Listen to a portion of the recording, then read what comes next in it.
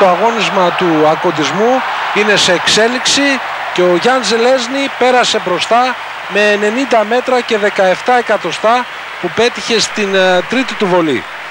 Ο Μπάκλεϊ έμεινε στην δεύτερη θέση με 89-85, ο Μακάροφ είναι τρίτος με 88-67.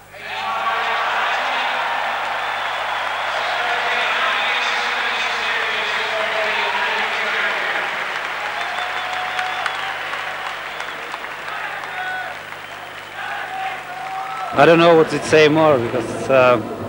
I am very happy and also also I would like to say thanks to all people who has helped me my long career and special doctors who after my shoulder injury and operated me and stay with me to,